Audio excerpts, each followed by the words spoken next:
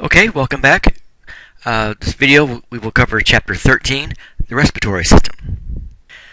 Alright, first we'll talk about the actual process of respiration and steps that are involved. Uh, first, a formal definition for respiration. It's the whole process of exchanging gases between the atmosphere that you're breathing and all the way down to the body cells. And it includes uh, multiple steps. Uh, the first one, ventilation. This is the generic moving of air in and out of the lungs. There's no exchange, it's just moving air in or out of the lungs. Uh, next, we have external respiration. This is the exchange of gases between the air and the lungs and also the blood. Right, after that, you get the transport of gases uh, by blood between uh, from the lungs to the rest of the uh, cells throughout the body. That takes us to step number four, uh, internal respiration. The exchange of gases between the blood and the cells. This is much more of an internal process. That's why it's called internal respiration. So don't confuse external versus internal respiration. And lastly, uh, cellular respiration. This is using that oxygen that you breathed in to help produce uh, energy and then uh, forming a byproduct of carbon dioxide. Alright, next we'll talk about the various tracts of the respiratory system. Uh, the organs of the system are divided into one of two tracts, uh, the upper respiratory tract and the lower respiratory tract. Uh, for the upper, uh, this includes the nose, uh, the nasal cavity, the sinuses, and the pharynx. And anything below that is considered the lower respiratory tract. So the larynx, the trachea, the bronchial tree, and also the lungs. Most people can figure out where these parts lie in which upper or lower tract. The two uh, components that get uh, confused most often are the pharynx and the larynx. And a good way to keep these straight, uh, pharynx starts with a P, and there's P in upper. Larynx starts with an L, and there's L in lower. Alright, here's a basic image of the respiratory tract. They have the mouth here and the nose here, going down to the trachea, and then also the lungs. Okay, so for the upper respiratory tract, the nose, sinuses, uh, pharynx, and for lower, larynx, and anything below that, trachea, uh, bronchial tree, and the lungs. Alright, now let's talk about individual uh, parts of the respiratory system. We'll start with the nose and work our way into the respiratory system. The nose is filled with hairs to prevent uh, any larger particles from entering uh, the body. If it's able to enter the nose, it's able to get breathe into the lungs. So you don't want any large particles that can help don't make you choke. So that's why the your hairs in the nose are there to block entry of those larger particles. Uh, the nasal cavity, this is the space just behind the nose, the hollow space just behind the nose, and it's separated uh, in half by what's called a nasal septum. A septum is always a divider.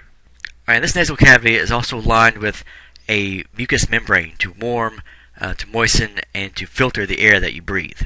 If you've ever gone outside on a, a very cold day and taken a deep breath through your mouth, it almost will hurt your chest because it's it takes more effort to warm that air before it gets to the lungs, as opposed to just breathing through your nose.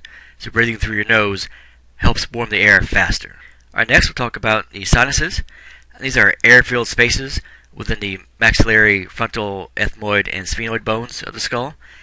If you've ever had a sinus infection, you know exactly where know, some of these places are. Uh, the mucous membrane lining is continuous with the lining of the nasal cavity. And these sinuses are there uh, for multiple reasons. One is to reduce the weight of the skull. If your skull were fully solid, of fully fully made of bone, it'd be incredibly heavy, and much heavier than it already is. So it'd be difficult to keep your head upright. It'd be so so heavy. It also serves as a way to serves as a voice resonant chamber. So this will help your voice echo and give it depth as you speak. That's why whenever you are sick, say with a cold or with a flu, and you are congested, your voice sounds different because all of that mucus and all that buildup is in the way, blocking uh, your voice from echoing throughout this chamber. So that's why you sound odd when you're sick. Right, here's a more detailed image of the upper part, of the respiratory tract, mouth and tongue here, the nose here, the various sinuses. There's the frontal sinus here. All right, next part we'll talk about is the pharynx. Uh, this is just uh, posterior to the oral cavity, in between the nasal cavity and the pharynx. It's basically a generic term for the throat in general. And this serves as a passageway for food moving from the mouth uh, through the esophagus onto the stomach, and also air moving from the nasal cavity down to the lungs.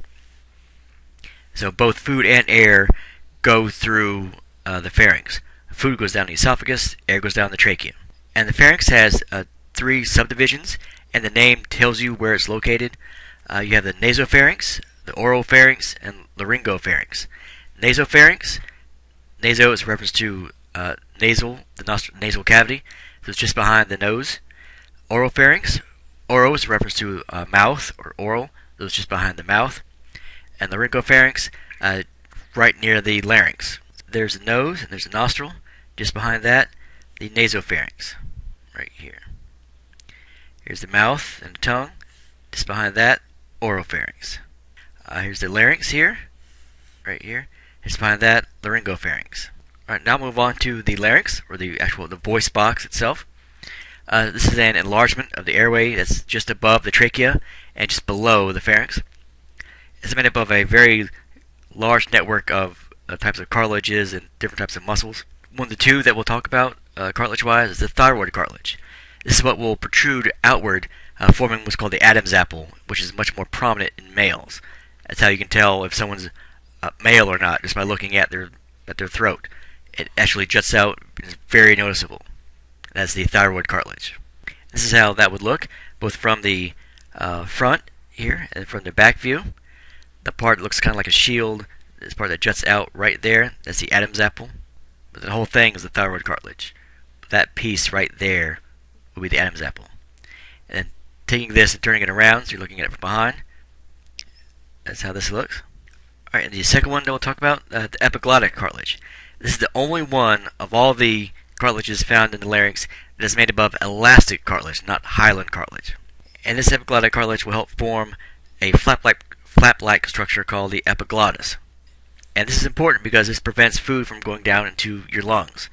Whenever you swallow, the tongue will push this flap down, blocking material from entering the lungs and directing everything else down into the stomach. So whenever you eat uh, too much food at once or eat too fast, and people start to choke, and people say that food went down the wrong way, that's what they what they're talking about. So going back to this image here, the epiglottis is right here. Okay. Trachea is here. Esophagus is here. This would lead to the stomach. This leads down to the lungs. So whenever you swallow, the tongue will force this down. Everything that is beyond that point will be directed into the esophagus. If you eat too quickly or eat too much at a time, food will get past this and get into the lungs. That's when you start to choke. Alright, the larynx is made up of two horizontal folds of uh, muscle and connective tissue. Uh, the upper folds are called the false vocal cords because they do not produce any sound at all. It's the lower folds that are uh, what are called the true vocal cords. These are what will make uh, sound as vibrations pass over them. The faster air passes over these folds, the higher the pitch, the higher the noise. Okay, this is how it would look.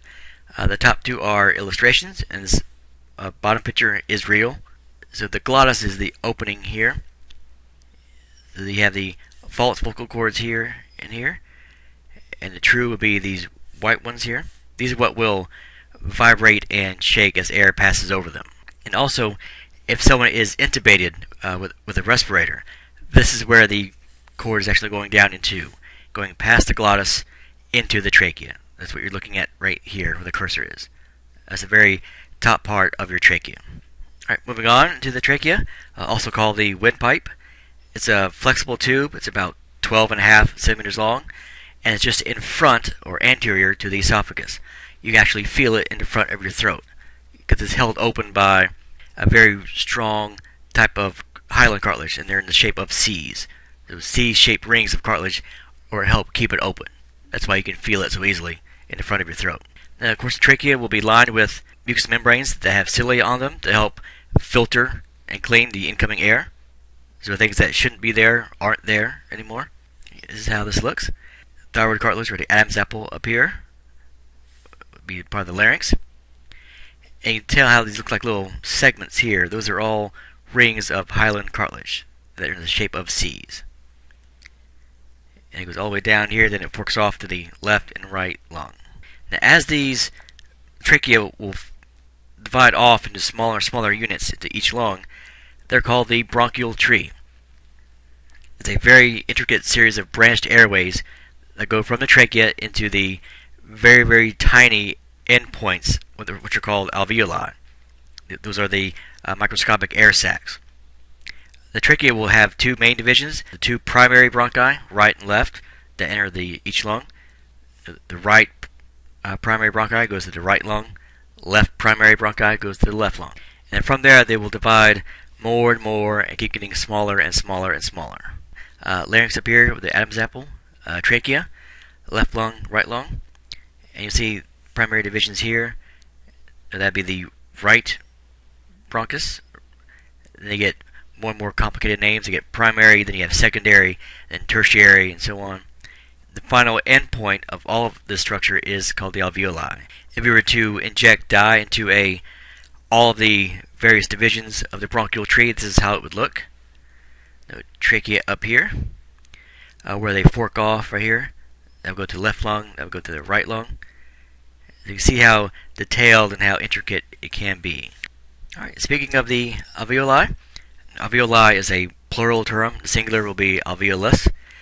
This will help provide a large surface area of, of very thin epithelial cells to increase gas exchange. This is where all the work in the lungs gets done, where the oxygen and carbon dioxide get exchanged, and it's how your lungs work in these individual air sacs. And then during this gas exchange, oxygen and carbon dioxide will be exchanged through the act of simple diffusion. So oxygen will diffuse from the walls of the alveoli into the blood, and carbon dioxide will go from the blood to the alveoli. So it's something as vital and as necessary as gas exchange, carbon dioxide and oxygen, it all happens due to simple diffusion. So you're looking at a, a cluster. They literally looks like they literally look like uh, clusters of grapes on a vine. These individual air sacs, those are the alveoli. And we'll take a look at just one. So this would be inside of the lungs, inside of the air sac. As blood comes from uh, the heart, it has to go to the lungs to pick up oxygen before it goes back to the heart.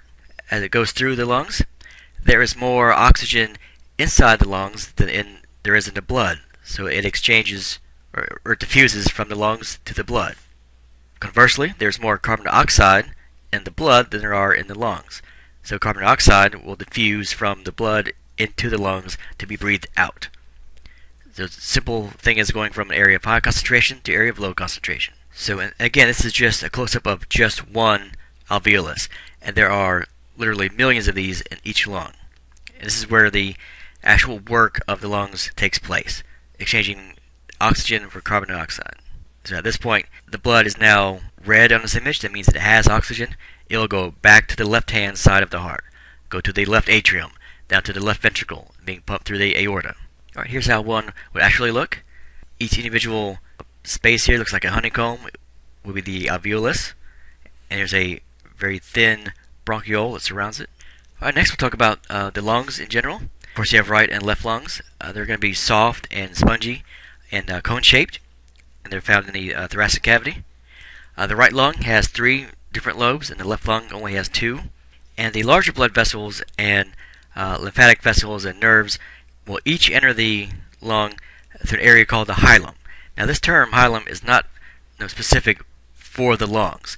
It is a general term meant, for any indented area where you have major vessels or nerves entering a structure. You'll see hilum again when we talk about uh, the kidney in a future chapter. So hilum doesn't just reference the lungs only; it's a general area. Okay, here's a image of both the thoracic cage with the lungs inside. Adam's apple up here, the thyroid cartilage, first part of the trachea here, of course left lung, right lung. Alright, the lungs are covered with a very particular type of membrane called the pleura. And the pleural membrane is uh, thin and actually has two layers. Uh, one called the parietal pleura, one called the visceral pleura. Uh, the parietal pleura is what lines the inside of the rib cage and also contacts the diaphragm. Visceral pleura is what covers the lungs directly. And these two terms here are also general terms. Anything that's going to be visceral will contact an organ directly. Anything that's parietal will line a cavity And even though there are these two membranes uh, very close together, there is a very, very small space between the two, and that's called the pleural cavity. This cavity is filled with a type of fluid that helps the lungs be able to expand and then decrease in size. So they can inflate and deflate during respiration. Alright, so here's what I mean. Of course, left lung, right lung. Uh, the blue line would be the visceral pleural because it's contacting the lungs directly. What happens is this membrane goes all the way around the lung. And when it gets to the hilum, it will actually double back on itself. And then the the red line is the uh, parietal pleura. That's what will line the uh, thoracic cage. So it's really it's a double membrane, but it's really one really long membrane that just folds back upon itself. And in this picture, you'll see this is a very exaggerated uh, scale. There's a very, very small space between uh, the visceral and parietal pleura. So it looks quite large here, but it's nowhere near this size. It is really, really quite small. And, and here you'll find the fluid that helps the lungs uh, inflate and deflate. Alright, next we'll talk about the uh, breathing mechanism. Uh, breathing, or also known as uh, ventilation, is movement of air from the outside of the body uh, into the bronchial tree and then down to the alveoli. Now, the actions responsible for this are inspiration and expiration. And those are just the technical terms for uh, inhalation and exhalation. Uh, inhalation, breathing in, inspiration. You exhale or breathe out, expiration. It's important to keep these terms straight because these will come up again when we talk about various uh, lung volumes and lung capacities. Alright, air moves in and out of the lungs all due to one thing. It's due to a difference of pressure. Not volume, not temperature, all due to a difference of pressure. Air will move from an area of higher pressure to an area of lower pressure, just like a concentration gradient would work. So instead of, instead of dealing with concentration, you're dealing with pressure. So this is exactly how air goes in and out of your lungs, due to a difference of pressure the, uh, the pressure and the volume of gases uh, found in the lungs are going to be inversely related. What that means is when one goes up, the other one goes down. That's referenced as, or also known as Boyle's law when it comes to chemistry. If the pressure in your lungs goes up, the volume will go down. If the volume goes up, the pressure goes down. That's what's mean. That's what's meant by being inversely uh, related. All right. First part, we'll talk about uh, inhaling or inspiration. As the diaphragm is signaled to contract, it flattens out. Its normal shape is a uh, like a bell shape. So when it contracts, it's actually getting flatter. So when you take a deep breath in, you are expanding the volume of your thoracic cavity. So when you do that, that means the pressure will go down. So this difference in pressure will mean atmospheric pressure will be higher than what's inside of your lungs. So air is basically pushed into your lungs due to that difference in pressure. Deep breath in, your volume expands, so volume goes up, but pressure goes down. And for the opposite of that, expiration or exhaling, uh, the forces responsible for this are the elastic recoil ability of your lung tissue and the surface tension within the alveoli. And these factors will increase the pressure within the alveoli to between 1 to 3 millimeters of mercury above atmospheric pressure. So air is actually forced out of your lungs. Okay, here's an image that has uh, both of these on here. Uh, normal atmospheric pressure, 760 millimeters of mercury, or one atmosphere for those who have who are familiar with chemistry or physics. When you take a deep breath in, the lungs will expand, so volume goes up, but the pressure will drop to 757 millimeters of mercury. So pressure is higher outside than it is inside. So air gets forced into your lungs whenever you are exhaling, the volume will go down because you're exhaling, but the pressure goes up. The pressure goes up to 763 millimeters of mercury. 763 is higher than 760. Air gets pushed out from your lungs outside of your nose or mouth. That's how, in general, air moves into your lungs and moves out of your lungs, all due to, all due to a difference in pressure. And pressure and air will go from area of higher pressure to area of lower pressure. All right, next we'll talk about uh, the various respiratory volumes and capacities. So different degrees of effort in breathing will move different amounts of air in and out of the lungs. And we'll talk about four different types of volumes and two different types of capacities. And capacity is really just two or more different volumes combined. And these names can get kind of cumbersome, kind of confusing. All right, the first one, uh, TV or tidal volume. Uh, This is the amount of air that moves in and out of your lungs when you're at rest, like the tide at the beach. It goes in, it goes out with no extra effort needed. So when you're at, sitting there at rest, air moves in and out normally, also called tidal volume or TV. And just like when we talked about the hormones and various acronyms that they all had, it's perfectly fine to call uh, tidal volume just TV. It's perfectly fine. The terms are interchangeable. Uh, the next one, the IRV, inspiratory reserve volume, is the amount of air that can be forcibly inhaled in addition to tidal volume. This is taking a deep breath in.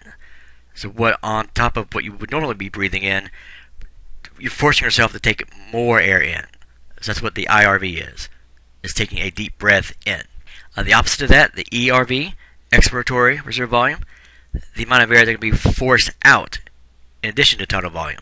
Other than what you would normally breathe out, what can you force out? So this is taking forcing all the air that you can out. That's the ERV. A residual volume, RV, this is the amount of air that's in your lungs at all times. Your lungs are always going to be uh, inflated like a balloon. There's, always going to be some amount of air always there, unless there's some kind of injury, you know, being shot or being stabbed, or some kind of injury where that pressure is equalized, and that's when a lung collapses. When that pressure is not, or when that amount of air is not in the lungs, the lungs will basically collapse like a uninflated balloon. That's what a collapsing lung really is. In general, what you want is the lungs to always be somewhat inflated. And no matter what you do, you can't get that amount of air out apart from being injured, like being shot or stabbed or, or so on. Uh, next one, vital capacity or VC is the maximum amount of air that a person can inhale and exhale. So taking a deep breath in and forcing it all out. Because remember, it's a capacity, so we're talking about two or more volumes. So that's all that is. Taking a deep breath in and forcing it all out. And then the last one, uh, TLC, total lung capacity. This is everything that your lungs can hold. So really the vital capacity plus what's already there, the residual volume.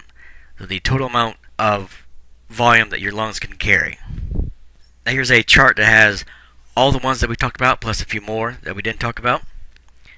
Uh, the smaller line here is the tidal volume, normal breathing in and out at rest. Uh, the IRV, taking deep breath in.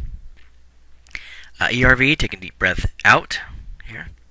Uh, the re residual volume, the amount that's always in your lungs at all times, roughly 1,000 to 1,200 uh, milliliters. The vital capacity, the we can breathe in, take a deep breath in, and forcing it all out. And of course, total lung capacity, everything that your lungs can possibly carry. And of course, that will vary greatly on whether or not you're male or female, or your age, or whether or not you're a smoker, or you have other uh, conditions. The higher these, these numbers are, the better. All right, now move on to the alveolar gas exchange. Part of the wall of the alveoli is made up of cells that make a very special lipoprotein. It helps keep them inflated. This is called surfactant.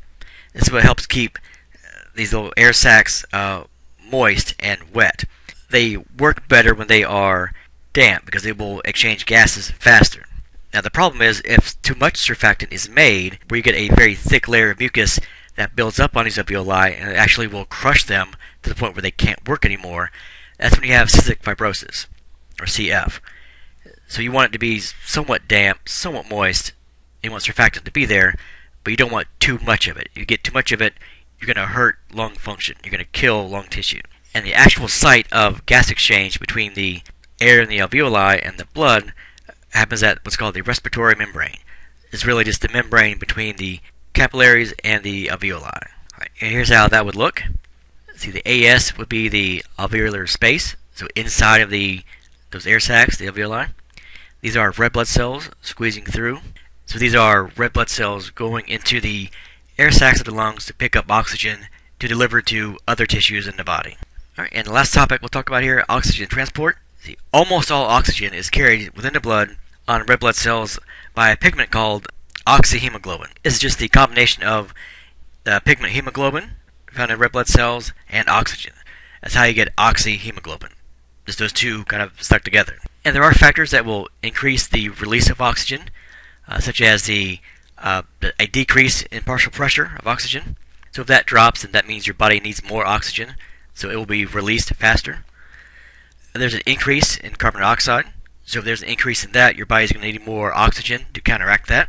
Uh, also, increase in temperature or increase in acidity. Both of those will lead to your body needing more oxygen. So those four triggers, among others, will help increase the release of oxygen to your cells in the body. Okay, that brings us to the end of chapter 13, respiratory system.